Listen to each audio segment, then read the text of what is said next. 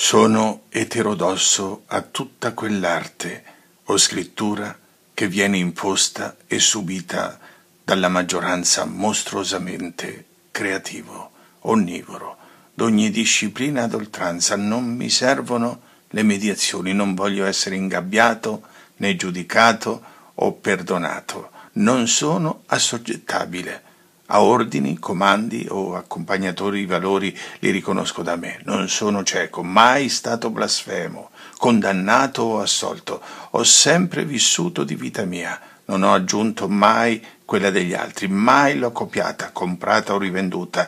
Non sono stato mai conformista altruista, sì, troppo spesso fregato, altro che. Sono spesso divampato, copiato, sfruttato, senza saperlo. Ma poco mi frega di ciò, dalla cenere sono rivissuto. Questo conta molto di più.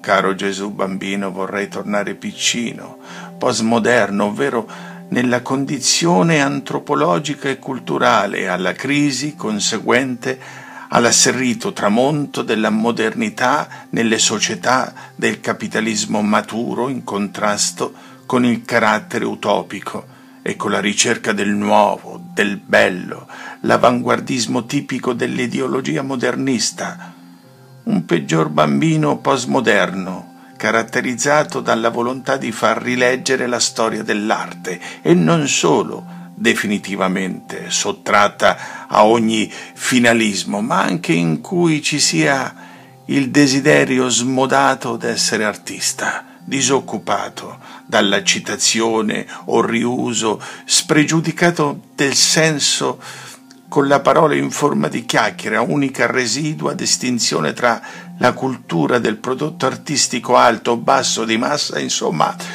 un post, mo, sì, un postmodernista che capisca nemmeno ciò che voglia significare la parola, ma che rivela strada facendo una molteplicità stilistica valente che faccia riscoprire ad ognuno dei suoi fruitori i valori sentimentali e passionali, liberatori, insomma una rivoluzione o evoluzione in senso popolare, rappresentativo non autoreferenziale aperto ad interferenze culturali di tipo pratico e mutuo, una sorta di pensiero forte del debole, che ha preso atto della dissoluzione della società ricca e ne ha fatto un sentimento di pietas nei confronti degli ideali della sottrazione. Credo, sì, credo di essermi spiegato bene.